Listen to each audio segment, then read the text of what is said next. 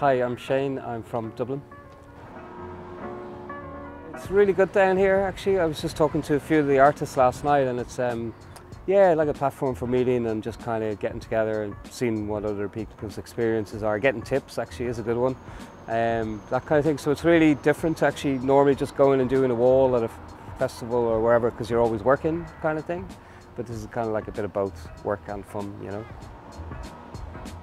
So far, a favourite moment I think was actually just hanging out and chatting to people really. Quite a few people coming by all the time actually, it's quite interesting. Um, lots of people wearing t-shirts and space on them and stuff like that, so we have a little bit of banter. Uh, that's good fun. And then there was a couple of kids here actually and one of them had a big NASA t-shirt. So, um, so I had one of them, well both of them actually have a go at the wall doing a bit of painting. Uh, that was good, that was good fun. Uh, parents were happy and they seemed pretty happy actually. So. cool. No worries, see you later.